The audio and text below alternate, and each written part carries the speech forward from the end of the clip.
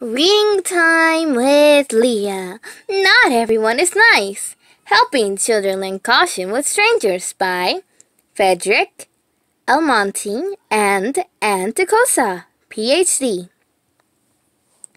Illustrated by Erik DePrince and Jessica Vinscasi. My name is Kathy. I live with my mom and dad and little brother Eric. He is only two years old. We also have a cat. His name is Spoons. We gave him that name because he has a black spot on his back shaped like a spoon. I am in kindergarten. My teacher's name is Miss Roberts. She is very nice. She reads us stories and teaches us all sorts of things, like science and nature.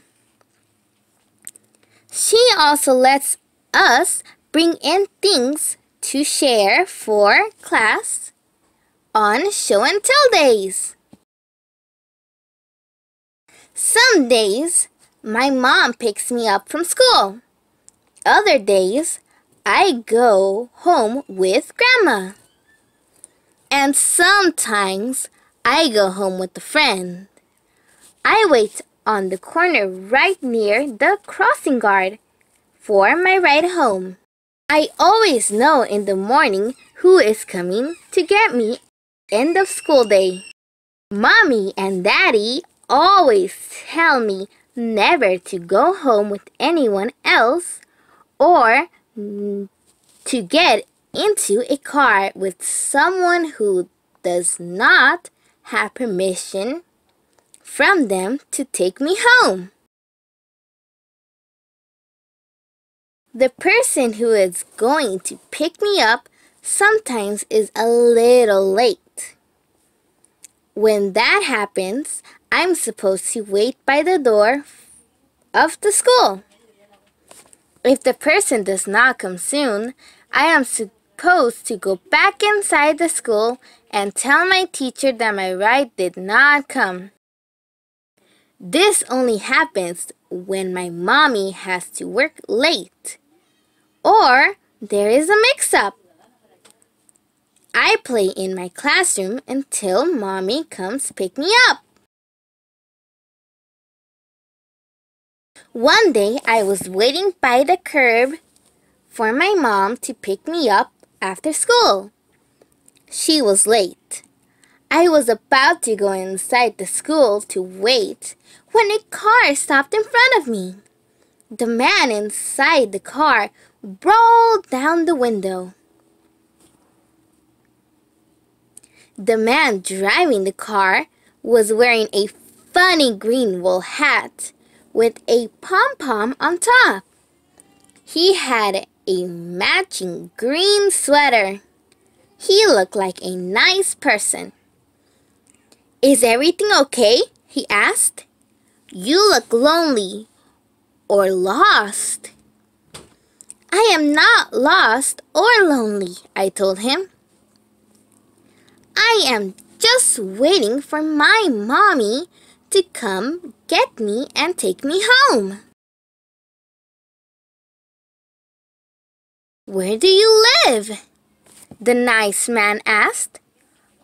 On Grant Street, I told him. That is funny, he laughed. I live on Grant Street too. I didn't think it was very funny but he smiled and laughed. So I laughed too. What's your name? the man asked.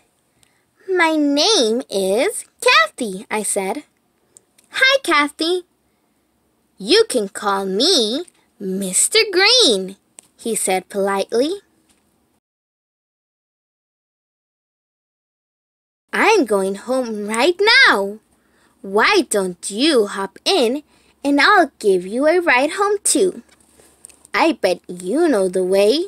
You seem very smart, he said with a smile. I can't ride with you, Mr. Green. My mommy told me to wait for her here. I would be happy to bring you home to your mommy. She is probably worried about you. Maybe she is late because she is hurt or sick and could not come to get you. We should hurry, he said. I was worried now. Maybe Mr. Green was right. Maybe Mom was hurt or sick.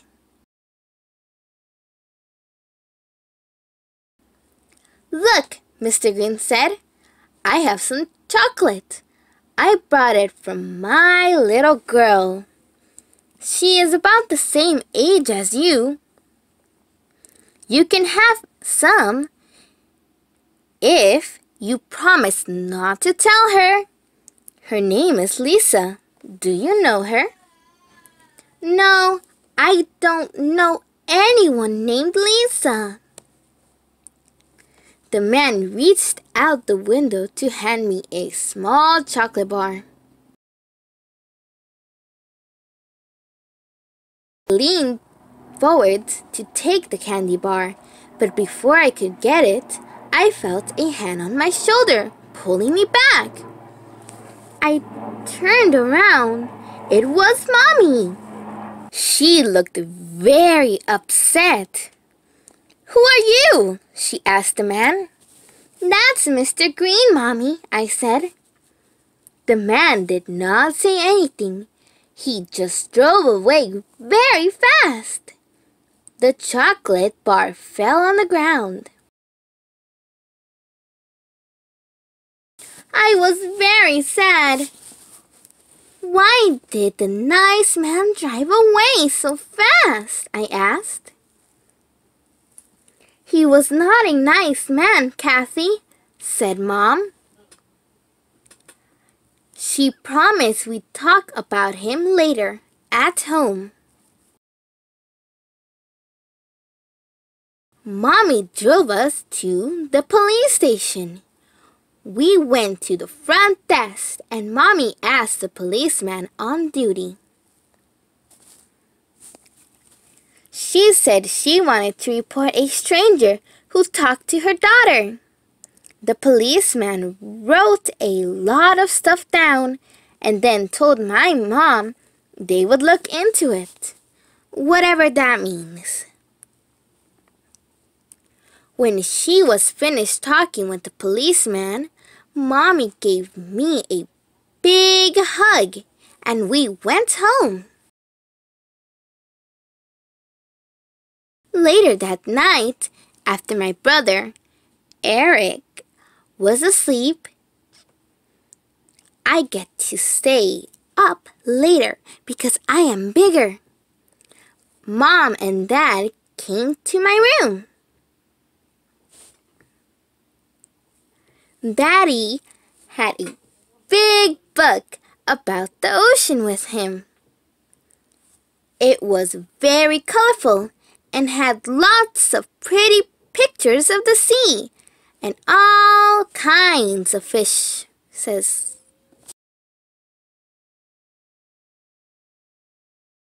Mommy told me about the man in the car today, Daddy said. We both wanted to talk to you about what happened. Mommy said you thought the man in the car was nice. I nodded. Yes, he had a funny hat and a chocolate bar and a little girl the same age as me. Kathy, my dad said, sometimes things and people are very different from what they seem. Some people aren't nice at all. Even though they seem nice, they can hurt you. I don't understand, I said.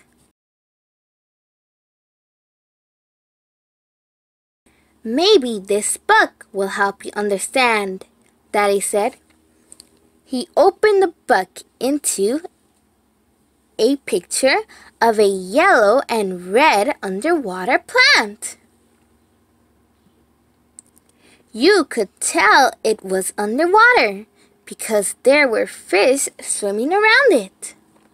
What a pretty plant, I said. Daddy shook his head. It's not a plant, he explained. It's an animal called a sea anemone. It fools fishes by looking like a plant, so they won't be afraid to come near it. Then, when the fish gets close, the sea anemone eats it for dinner. Oh no! Really? Yes, Daddy said. It gobbles them right up. Mommy took the book and turned it to another page. It showed a beautiful fish with orange and white stripes and big fins soaring all around its head like a lion's mane. It looks like an animal from the jungle, I said, laughing. That's right, Mommy said with a smile.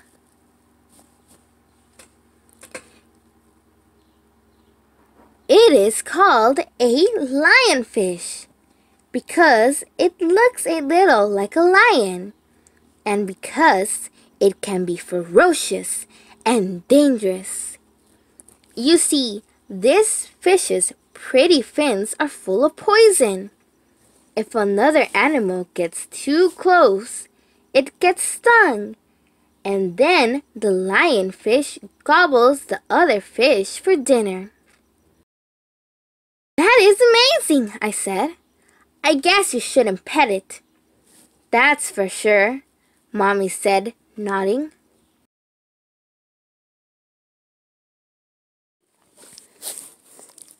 Kathy, my dad said, even in nature you cannot tell if something is safe just by how it looks. The same is true for people. Some people may look very nice and act kindly, but that may be to fool you. Some of them can hurt you. Like the sea anemone fools the fish? Yes, just like that, my dad said.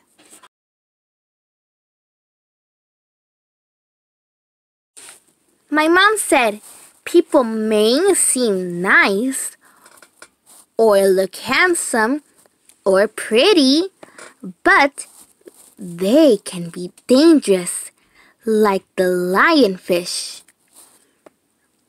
So you have to be very careful. Strangers may seem nice or say nice things, but they may not be nice people. You should only go places and accept gifts from people you know very well like family or close friends or your teacher. Remember, Kathy, my dad said, you can never be sure if a person is really nice just by looking at him or talking to him. What should I do if I meet another stranger who seems really nice, like the man in the car? I asked. Well, Kathy, my dad said, if a stranger tries to get you to go somewhere with him, just quickly walk away and ask a grown up you know for help. Like my teacher? Yes, that's a great idea. The grown up will know what to do and will be able to tell if the stranger is nice or is really a lionfish in disguise.